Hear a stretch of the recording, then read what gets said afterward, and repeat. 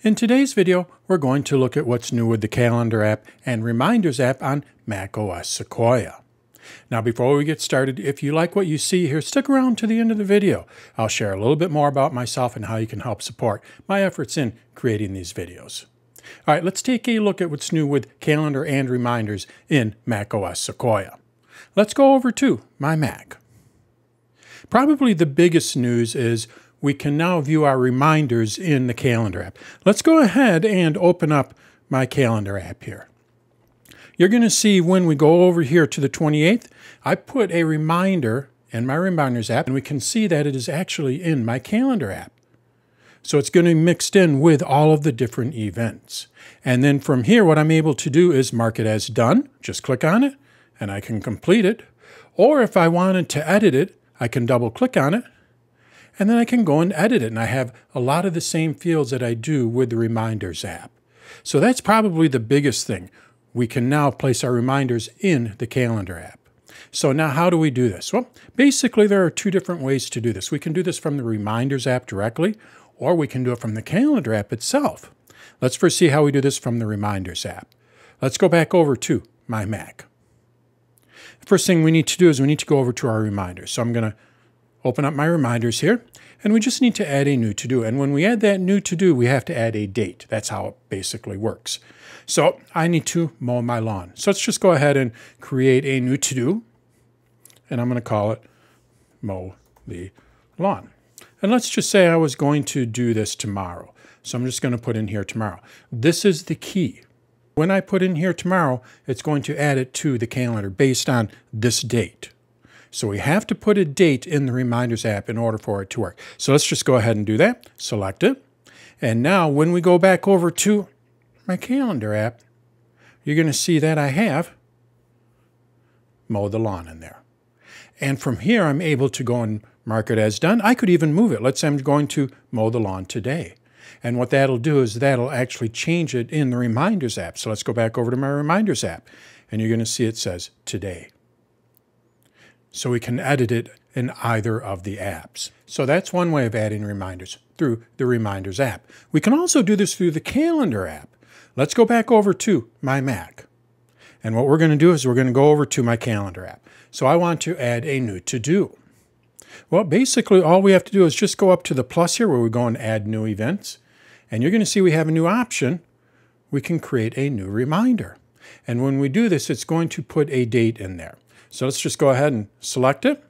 And what I need to do is meet friends at Skiles on Saturday night. So I'm just going to put this as a to-doist as opposed to an event. Now from here I can go and remind me on a certain day. So let's just go with Saturday. This is when we're going to meet up. I can also put a time in there, location. I can even select which list to go into and it'll put it in that list in the Reminders app. But again, I'm in the Calendar app. So I'm just going to go and click on this, and we can see that it added Meet Friends at Skiles. And when we go over to the Reminders app, you're going to see that I have Meet Friends at Skiles for Saturday. And then from here, I can go and make changes to it, and it'll reflect those changes in the Calendar app. Now, if you do not want to have your reminders show in the calendar app, maybe you don't like this feature, you can easily turn this off. Basically, what's happening is the calendar app is subscribing to your reminders. So let's go back over to my calendar app and take a look at how we can turn this off. First thing that we need to do is we need to show our calendars here. This is where we can see all of our calendars within the calendar app. So if I select this, it hides it, select again, it shows it. And you're probably familiar with this. Like I said, it's just all of our different calendars in here. But there's a new calendar in here under Other, and it's called Scheduled Reminders. This is what we need to turn off. So if I turn this off, I just uncheck it. What it's going to do is it's going to hide all of those different events. I'm sorry, these different reminders. So I select this to show them, select it to hide them.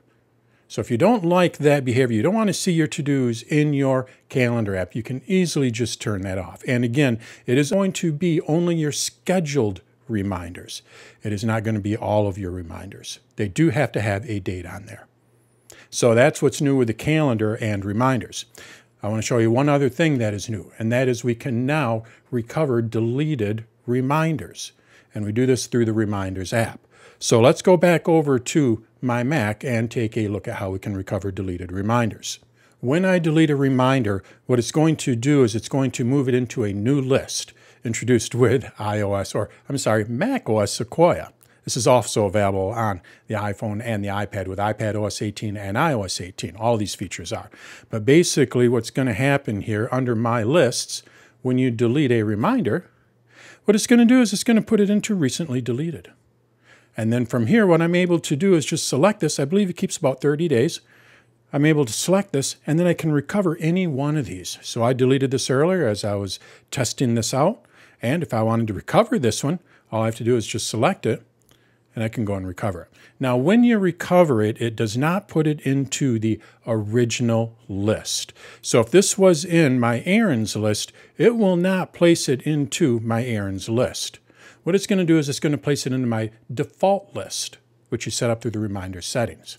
What's my default list? My default list is inbox. So everything goes into the inbox if I don't assign a list.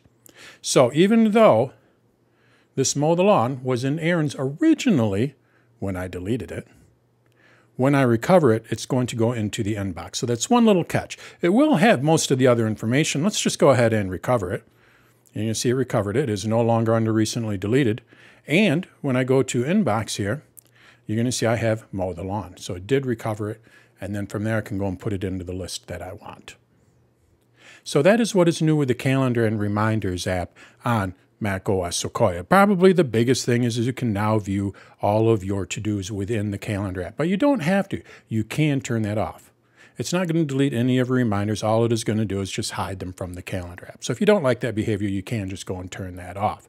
You can add reminders directly from the calendar app or from the reminders app. If you want it to show up in the calendar app, just add a date to it. And then you can also recover recently deleted reminders. So that is what is new with calendar and reminders in macOS Sequoia. Now, if you found this video helpful, what you may want to do is like the video, share it with your friends and family, or even subscribe to the channel. You can also check out danstutorials.com. I have over 400 videos on YouTube, but on my site, danstutorials.com, I have over 2,000 videos. I've been doing this a lot longer on my site than I have with YouTube. So how can you help support my efforts? Well, the site is a membership-based site. You can view all of the videos on there, but you're going to see ads. When you become a member, I remove all of the ads from the videos. I also have an AI assistant modeled after an Apple Genius, and you have access to that. So if you have a question, you can go and ask that AI assistant for any help. And then I also host webinars and classes on a regular basis, and you have access to those as well. And then, probably most important, is you're helping support a small business. It is just me in a corner office of my house creating these videos not part of some large organization. I'm just doing what I love, and your support can help continue helping me do that. So that's how you can help support my efforts in creating these videos. Visit danstutorials.com. Thanks for watching.